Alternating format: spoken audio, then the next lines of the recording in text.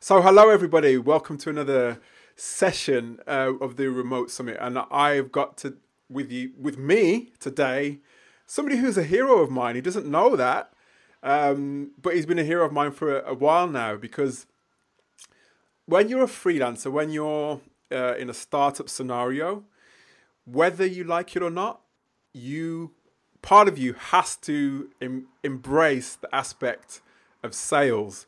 So when I was doing my own research in terms of building my own freelance side of things, but not just that, when I was doing my my day to day work, I happened upon YouTube and I typed in certain things relating to sales, and Steli's video came up.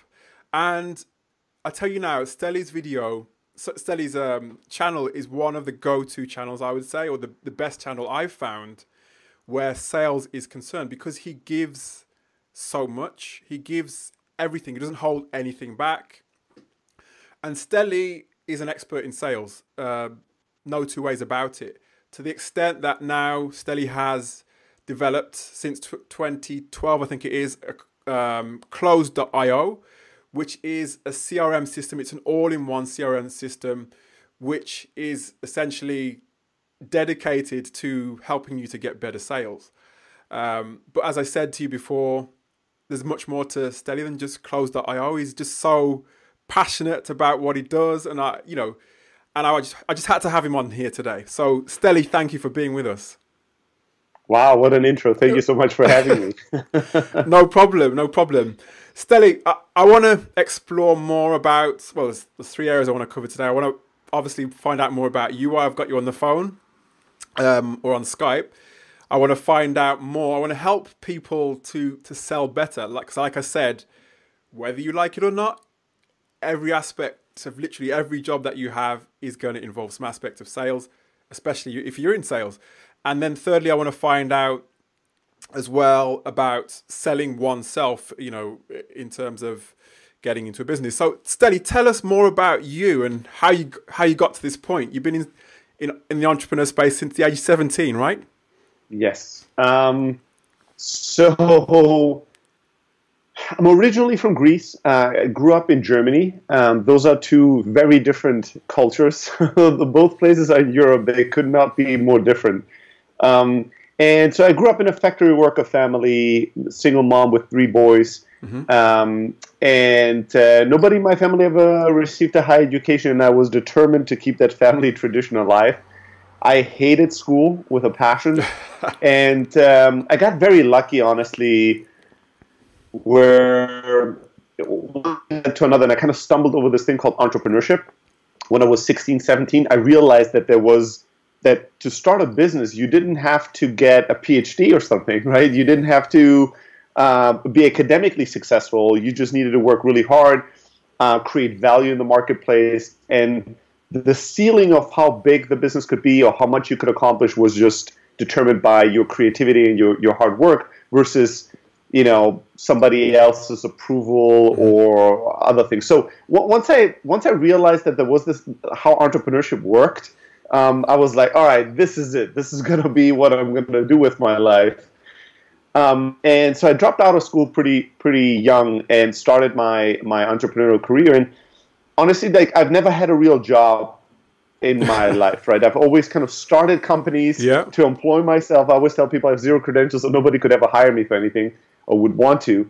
Um, and so, and, and if I had to pick a entrepreneurial quote unquote superpower, it was always selling. Although I didn't know it early on, right? I I just had certain talents, and I had to use any of them and all of them to move my life forward and to try to make my businesses succeed.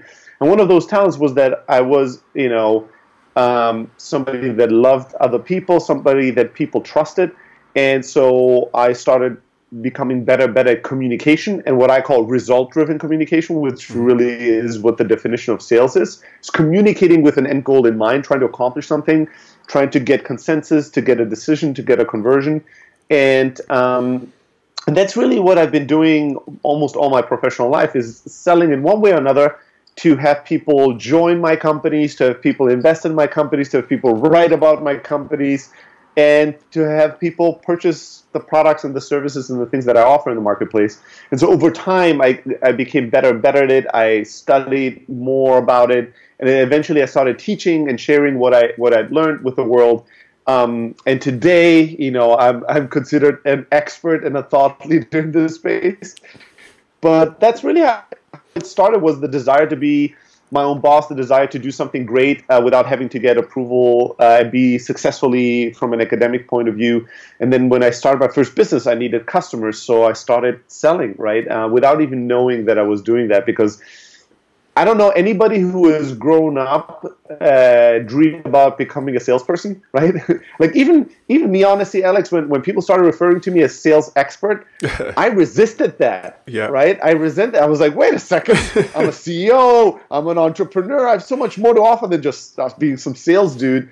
So I didn't. I I, I at first didn't like that that um, uh, the tag but eventually I got over myself and I just, you know, went back to saying, what is the way that I can create most value? And if sales is a topic that I can create a lot of value and people refer to me as an expert, who cares, right? It doesn't really, my ego is not really the, the main goal here. The main goal is to create value in the marketplace. So I've been selling my whole life. I'm building sales teams and, uh, you know, I've been teaching a lot of people how to do sales and, and um, here I am. So with you, I mean, it sounds like sales for you is innate, right? It's it's part of your DNA. Um, but for me, I, I, I, and probably for a lot of people out there, they probably don't really want to consider themselves as salespeople. This, this, I don't know, some sort of dirty word attached to being a salesperson. I don't know why that is. uh, well, actually, I do know why that is because there are there are. I do, yeah, I, I, think you do know yeah, why that is. I yeah, know why I that too. Yes. So that I think that's why people don't necessarily want to sort of consider themselves sales or sort of admit that they need to do sales. But do you think um, sales is nature or nurture? I think it's both. Um, I don't think, and I think that's true in life in general. I don't think that anything is only nurture, and I don't think anything is only nature. It's always a combination of the two, right? Um, and you can, I I do think though that that if I only had to choose one of the two in any area of life, I would always choose nurture, right? I would always choose, uh, you know, I think hard work, determination, persistence, consistency. You draw a long enough timeline. I'm going to crush anybody who's more talented than me in any area if they don't work as hard as I do. It just might take me a while to get mm-hmm. there.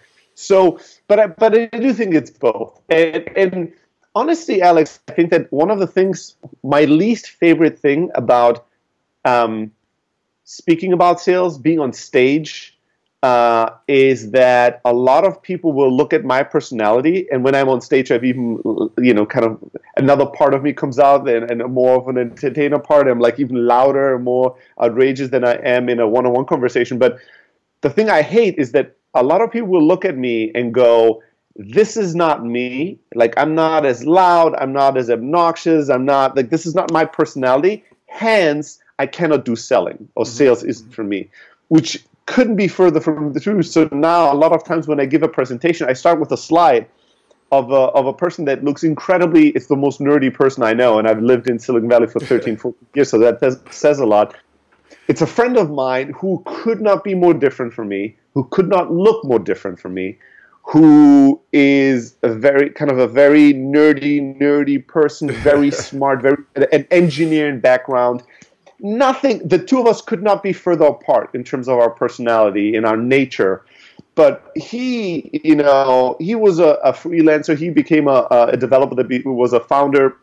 And he at some point very rationally figured out wait a second if i want to be an entrepreneur if i want to build products and i need people to buy them i need to learn how to do marketing and i need to learn how to do sales. And he studied sales and he went about it very like all right there's certain mechanics there's certain tactics. This is not rocket science, and I can follow this and follow these strategies and succeed. And he has a very different style about how he does it, but he just follows certain proven tactics and strategies and has seen incredible success with it. So I always highlight you don't have to be like me. You don't have to be loud and you don't have to be, you know, from the get-go a people person.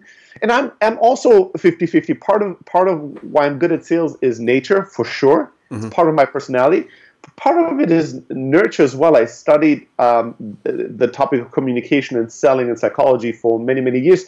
And there's a part of me that it, I, you know, I'm either super outgoing, but I'm also somebody that needs to be alone uh, and, and at mm-hmm. times doesn't like to be social at all, which is a side of me that nobody obviously sees because that's not publicized, right? I don't I don't video that. No, of course. So uh, a lot of time, a lot of times, I do have to force myself to do certain things that you know is required to succeed, although it doesn't come natural to me or I don't feel like it, right? Mm-hmm. Um, so I do think you can learn selling, and I think there's two parts for why people don't like sales. One is that a lot of people in sales traditionally and historically have just been assholes, right, and douchebags, mostly the man yeah. in, in the space, right?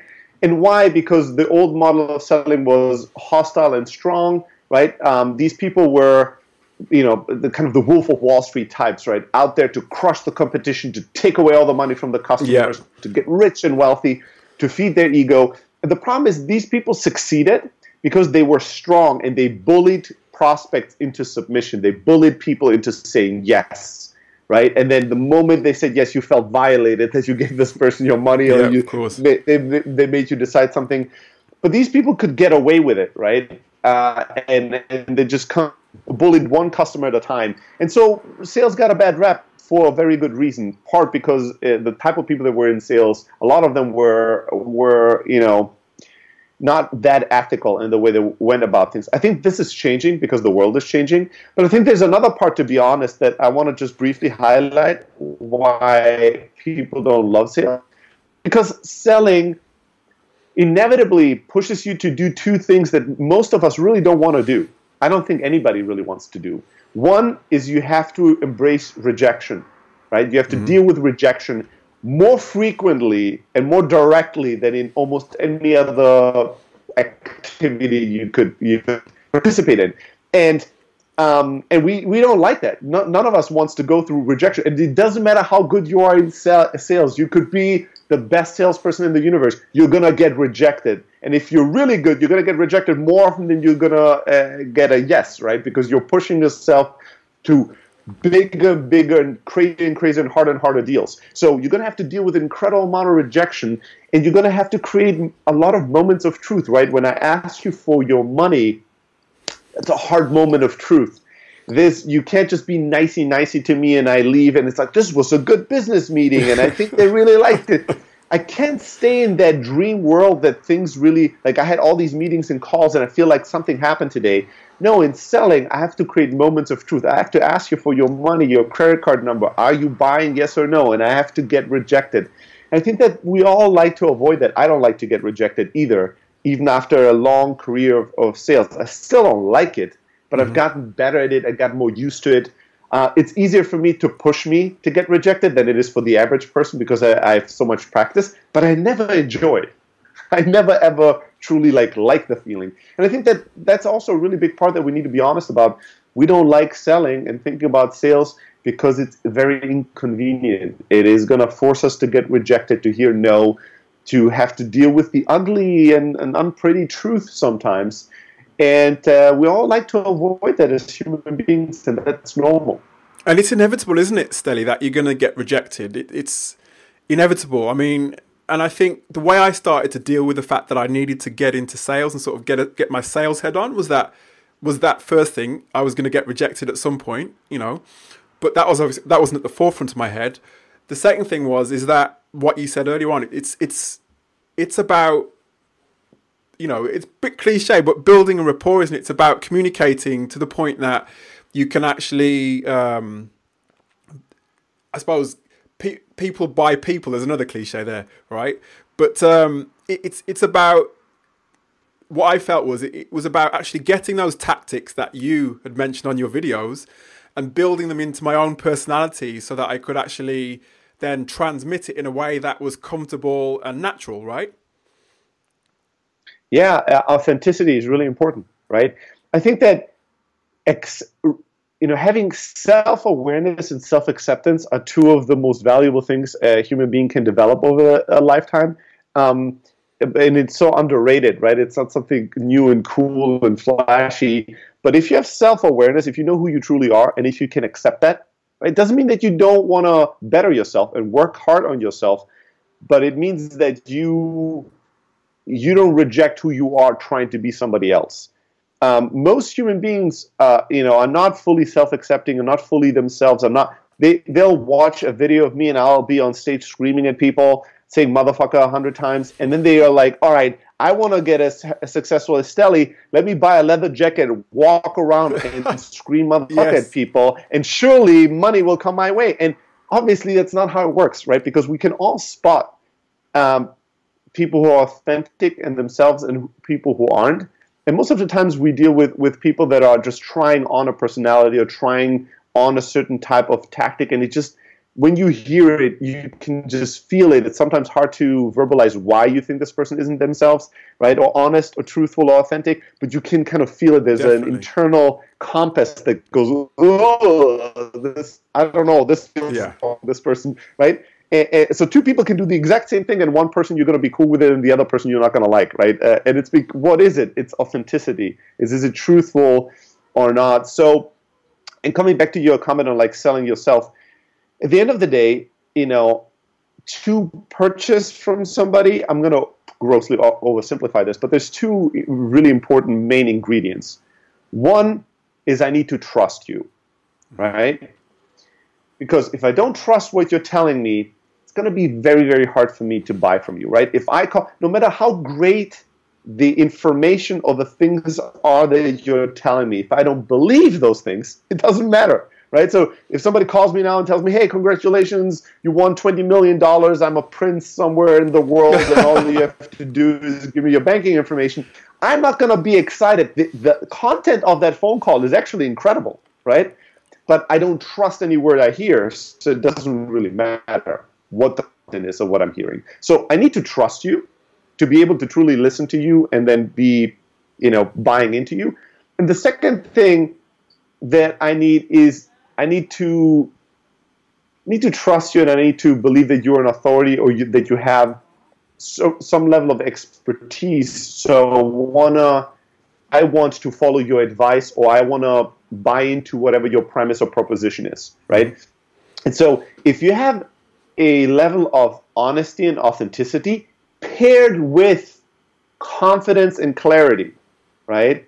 Then um, I think you're really unbeatable. And to me, that's the new model of selling, what I call friendly strength, right? You want to be strong, you want to be confident, you want to create clarity because human as human beings, we're all looking for somebody who knows what the hell they're doing that can tell us what to do here, right? Yes. We're all looking for somebody to lead us in certain areas in life, right? We all need certainty because it's such a rare thing in life.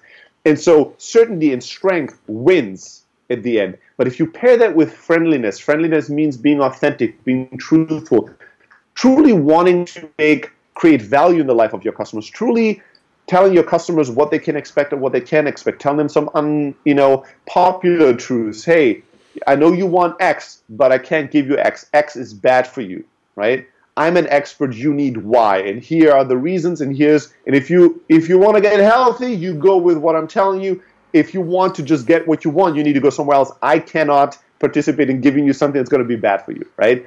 That level of both being friendly and wanting the best for your customers and clients in the business, but not coming at it from a place of weakness. Because a lot of times you have these two divisions. You either are friendly and weak, or you're strong and hostile right? Mm-hmm. And I think the middle, the friendly and strong, are where the future of sales is going to be. Friendly and strong, I like I like that because that it's got like we said, fre- um, sales has got the the tag that tag of being like you said the Wolf of Wall Street type thing, but and I think what you've done um, and what you're doing, and probably this is probably why people are calling you a thought leader, is that these these elements that you talk about authority, trust, honesty, building, you know, that authenticity, and friendliness and storytelling as well. That's another thing that that you you talk about quite a lot. That's something that is becoming um, more to the fore. I I think because it when I was um, doing my sales training all those years ago, it was all about like what you said. You know, don't let them get off the phone. You know, make sure they um, you know, make sure you book the appointment. And it's all about pressure, wasn't it? It was all about sort of increasing, amping up the pressure to get the sale and to get the appointment. And I think even back then, actually, I want to I want to talk a bit more about Close.io actually because um, there's wh- whether you're sort of a freelancer or a business owner or in fact, there may be people on this this call who are actually transitioning between roles as well. You've got to find mechanisms to actually um, put all of all of those things that Steli mentioned into place because it's not just about randomly doing something; it's about systematically doing it and having a system in place to do that.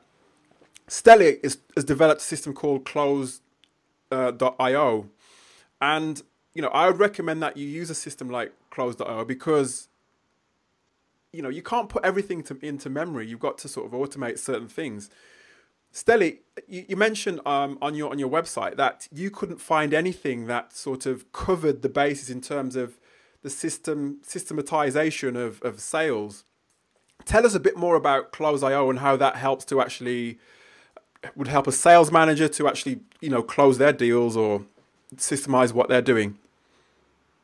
Yeah, so you know, I think most most CRM. CRMs are customer relationship management software, right? And basically, it's the main tool that most salespeople will use um, to keep track of their deals, their prospects, their pipeline, and and try to keep view of what's going on. Most of these tools were built by developers who had very little empathy, understanding of what the end user, the salesperson, is going through on a day by day basis, and were sold to high level management that also had very little empathy and understanding of what salespeople and the, the job of selling really was. So you had the people that build it and the people it was sold to that had nothing to do with sales, and then you know, it was forced down the throat to the individual sales rep. And that's why most CRM systems, they're really just a database that forces you to type in a lot of information to then get some kind of a high level reporting and forecasting of revenue, but it's not really that useful and that powerful in helping you sell better and sell more and get your job done.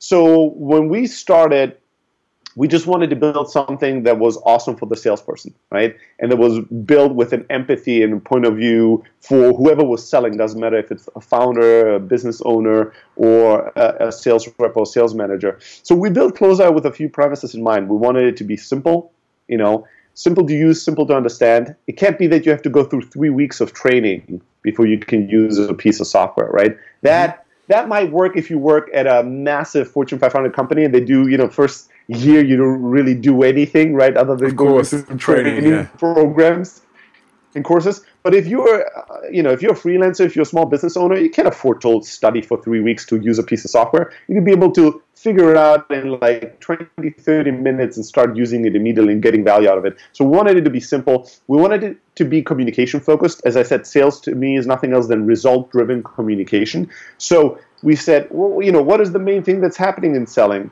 People communicate to try to get to an end result or conversion, right? So we build in calling out of the box so you can make and receive calls within the software and everything is automatically tracked. You can send emails and receive emails and uh, write automated follow up email sequences and all that good stuff. So we built a, bunch of tools that just help you be more productive, communicate more and better, and ultimately close more deals as an end result. I think that, you know, if you get serious about selling, you're doing it not just like once a year, once in a while, whenever it has to happen, but you really have a systematic approach you, you go, okay, this is the amount of new clients I need every month, this is the amount of activity, the amount of prospecting, the amount of work I'm going to probably have to do, amount of meetings I have to book to get to this number of new clients. Um, at that point, you know, choosing uh, a CRM system is probably going to become inevitable sooner or later, and and and in that there's thousands of options. Mm-hmm. We just try to build the best option for small businesses, for small business owners, a product that really helps you with the closing of deals versus helping a 100,000 person company with tracking, reporting, and forecast. Like that's a different different problem to solve for a different uh, type of company. But that's what we do. That's where we try to be helpful. So that's um, close.io, everybody. I recommend that you go and have a have a look at that because you know, one thing I've found is that, and Steli's alluded to it as well, is that you, especially if you're a, a small business or you're a freelancer, you you have to. There's so many things that you have to think about um, during your working day. So you've got to find some way of doing things in a logical way and um, doing things in a system that can be replicated. Um, and Close.io enables you to do that.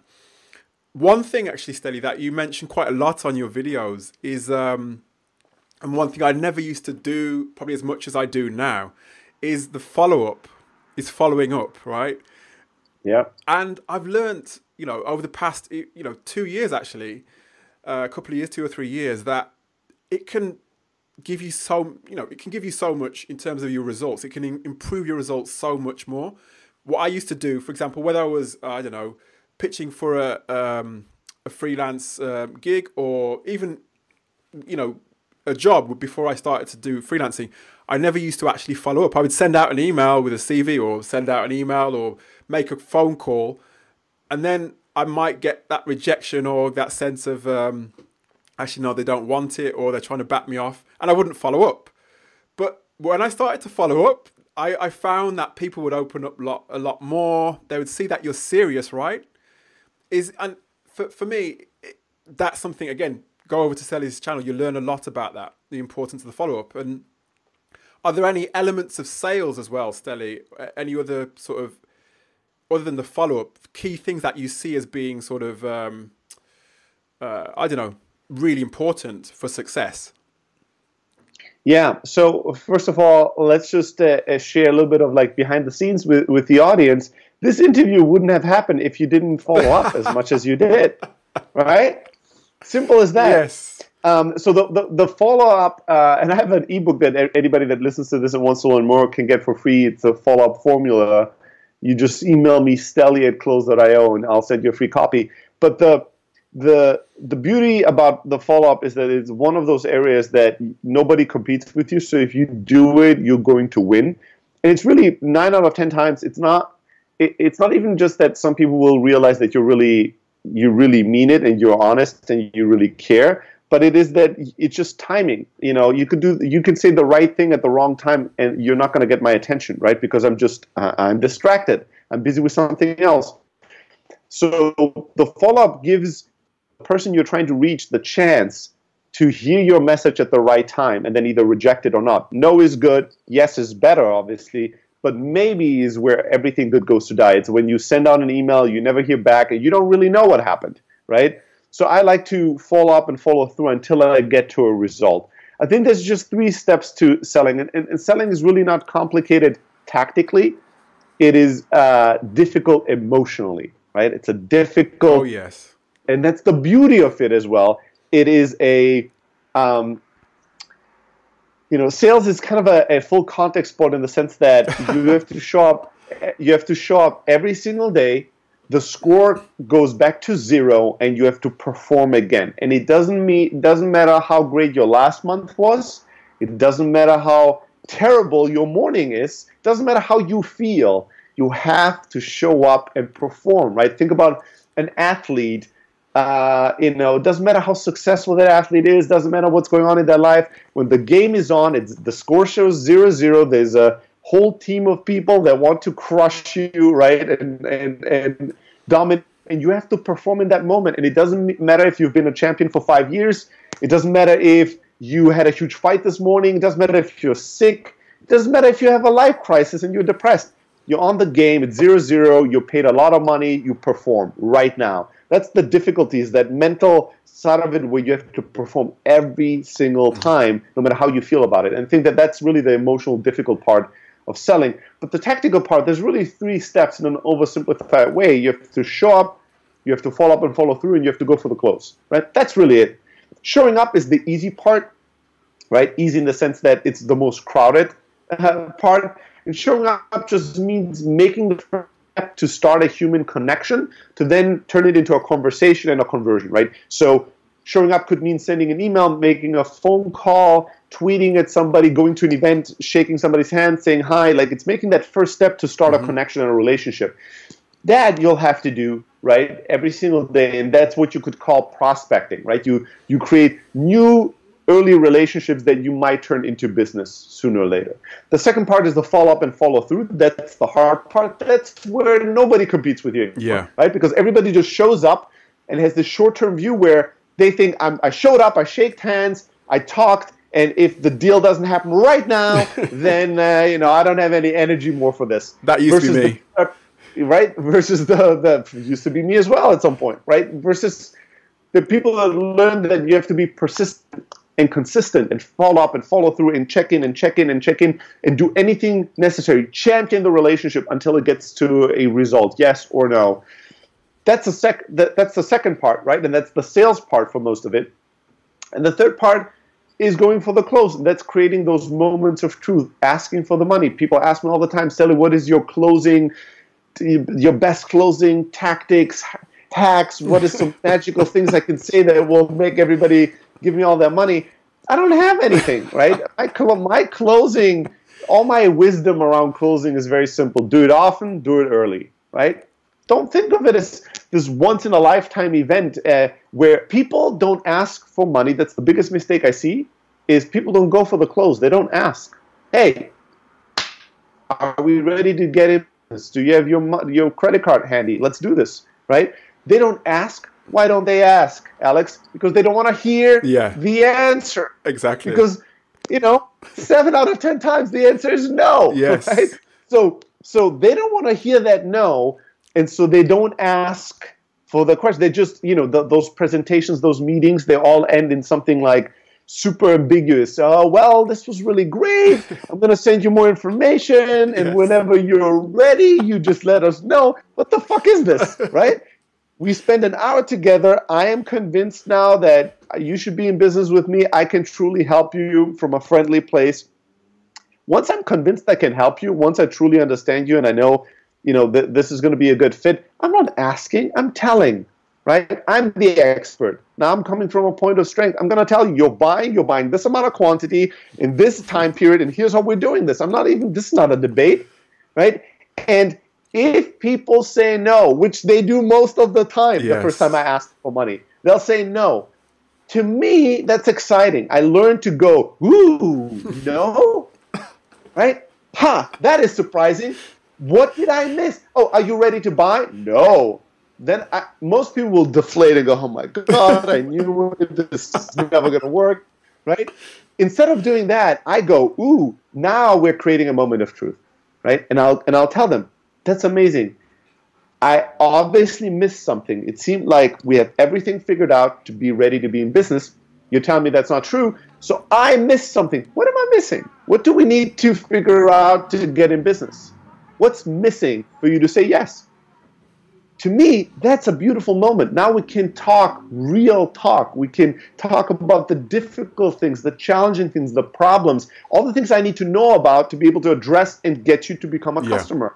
I can't get you to be a customer if all I allow you to talk about are the nice things, although you are thinking about some bad things as well, or some problematic or challenges or objections.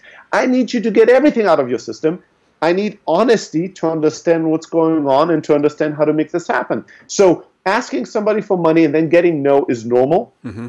The no is really the beginning of an education and, and a, a, truthfulness in the conversation where you can figure out, okay, what are the obstacles to this deal? What are the problems to this? And can we address them or not, right? And so I think people don't like to ask for money, ask for the deal, because they're afraid to hear no, because they think once they hear no, it's done and over with. So they never go for it. If you ask for the for the money and expect and you know expect a yes but embrace the no right? When somebody tells you no you don't go oh my god everything is terrible. You go ooh an opportunity to learn an opportunity to create a more truthful relationship an opportunity to uncover what needs work to make this deal happen. If you go about it in this attitude you don't need slick language you don't need hypnotic you know patterns to you know you don't need some kind of oh you say this and then that like a yes stream. You just get them to say yes a hundred times and then they'll surely say yes some magic spell. taking your mind. Yeah you don't need any of that rhetoric bullshit right? You just need confidence. You know confidence you need to be honest and really want the best for them and believe you know what's best for them and then you're going to be fine. And that you've said a, the magic word. Well, the magic word actually. There's lots of things in there actually because there's so many things that are probably going through people's minds when they're on that phone to that sales prospect or I don't know um, in some sort of sales situation. There there are emotions going on, right? And there's a sense of probably even fear as well. You mentioned confidence. I, I think this is why that that whole aspect of um, sa- sales and confidence have to go hand in hand, right? So that's why I was saying to you that aspect of nature and nurture at the beginning. How do you actually? How can you nurture that um, that confidence if if it doesn't come naturally to you? I mean, I don't know. Uh, is the honest uh, response, but here's some things that that I've done myself or I've seen work for some people. I think that um, I mean, the, the, you have to you have to sell yourself first before you sell anybody else, mm-hmm. right? So this means in this case, you have to start selling yourself every day on why you're great on why you are going to be good for your customers. Especially, you know, I find that people that lack confidence usually have a little bit too much self awareness and a little bit too self critical. Mm-hmm. So, if you're very self aware and if you're very self critical, chances are you're going to be good to those customers, right? You're going to be honest to them. Mm-hmm. You're going to try your hardest for them. Those are the, the people that lack confidence are never the evil. the evil yeah, people, yeah, right? Yeah, are never the people that are the scammiest, right? They're gonna steal money. Uh, those people don't like confidence. the people that like confidence are the nice people, right? So if you're nice, you need to start, and if you lack confidence, you need to start selling yourself. And this could be be as silly as it is. Maybe you have to, you know, write down the hundred reasons or the ten reasons every day why why customers should buy from you, why they should be glad to be in business with you. Maybe you have to record it and listen to it. Maybe you have to tell it in front of a mirror. I don't know what works for you, right? Maybe you have to just find a good friend and have that person tell you this every day mm-hmm. for a while. But you have to start selling yourself, brainwashing yourself with a different story, right? The reason why you lack confidence is that you keep telling yourself that you're not good, you have not accomplished this, mm-hmm. you don't know this, they're not gonna like you. You're telling yourself all these negative things again and again and again and again. And that obviously now has gotten you to a point where you believe this shit right? So what is the antidote to that is to start telling yourself a different story. And you might go, well, I think it's silly to sit there and tell myself I'm great. Well, you didn't feel it's silly to sit there and tell yourself you're shitty and you're terrible? You're doing that all day long. It's so effortlessly, you don't even think about it, right? But do saying nice things about yourself, that seems awkward and weird and and feels kind of like yeah, it just feels like just dumb. Well, it feels different because if you want to feel confident, you're going to have to do something that feels uncomfortable and different. And because what yeah. you've done up to this point is has not built the confidence. So I would say come up with all the reasons why you're great, why people will benefit from being your customers, and then tell that story to yourself again and again and again. Find some customers and help them tell that story to you. Ask your customers, why do you like being in business with me? If you had to give me a reference, what would it be? And then read those every morning, every night. Like read here's the quotes of my customers, why they're telling that working with me has been incredible for them. And then get yourself to a point where you go, yeah, shit, I am great. I am good to these people. These people can be grateful for being in business with me. I'll never lie. I'll never steal. I'll work my butt off and I'm going to create a lot of value and help them and you know whatever it is for some people it's sports it's music whatever do things that make you feel good remind yourself of why you're great and start telling yourself this different story and then you'll see more and more proof of that because with that kind of energy and attitude people will respond better to you will say yes more often and then that becomes a self-fulfilling prophecy and a new kind of loop that starts playing automatically in your head. That's great. No that's great. And i, I well for me that's again that's something that I got from from your videos on on on on, on YouTube is is that you know telling yourself that you're, you're you're great, not just well, and as well as that listening to people as well, I suppose, because it you know so what I've found is because I've interviewed quite a number of people myself when when I've been hiring, for example, um, is that people perhaps I don't know they begin to compare themselves to other people in terms of their, you know, they they use other people as their barometer when they should be their own sort of um, barometer. And I think that advice is great. It's just looking within and seeing what's good about yourself. So that's that's great, Steli. Thank you. And I know as well, um, Close.io is um, is a rem- you you are a remote business, right? You you do everything remotely. Was that a deliberate um, a deliberate sort of step for you, or something that was was accidental? Um, it was a little bit of both. So when we started the company, we were what we called semi-remote in the sense that we had we were a small team of six people. We had an office, but um, all of us are heavy travelers, right? Mm-hmm. So what would happen in actuality is that maybe once one month out of the quarter, everybody was traveling and working remotely. One month out of the quarter, we'd all be.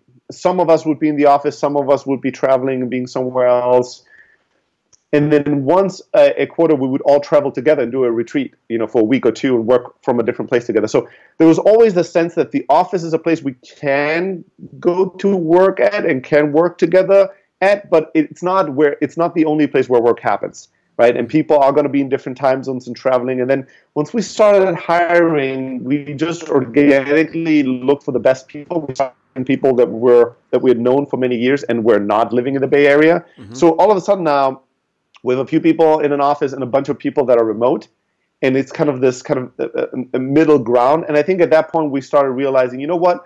We need to go all in on one or the other. We don't really want to have this two class society where the founding team and all the managers are in this office and everybody else is remote. Yeah. Um, and, and since we're traveling so much and since a lot of us a lot of the six people that were originally in the bay area office wanted to move away from the bay area anyways uh, we decided to go all in on remote and being a fully distributed team, and and that's really what happened. And and today we are a little over 30 people in 11 different countries. And the original six people that were in the Bay Area, there's not a single person that lives in the Bay Area anymore wow. out of that the team, right? And and we wouldn't have been able to retain some of these people, some of the most important people that were part of the founding team had wanted to move back to their families and build a new family and wanted to move in a different place. And if we said it's only the Bay Area or nothing, we would have lost some of the most important people in the company. So we love being a remote team. And what what kind of roles typically uh, do you do you hire for usually? I mean, we hire through throughout the bank. I would say the, the biggest part of our team is the product team for sure. So we hire developers, designers, product managers, all that. You know, engineers basically. That's a very big part of uh, of the team. But then, you know, the the the other part is from marketing to sales to success to support. You know, we hire throughout the bank in all, on all roles. And right now, actually, if you go to close.io slash that we're hiring for tons of positions. We have lots of big plans in 2019. So if you're remote, if you're looking for a cool company to work with, check us out. In case you missed that, because we, we had a bit of a break up there, it was close.io forward slash jobs. So it's right. close.io forward slash jobs. And my my final question to you, Steli, because you've give, you've been so generous with your time again as as ever, um, is if somebody is looking to to come and work for you um, at at close.io, what could be, I suppose, the the biggest thing that they could do to impress you?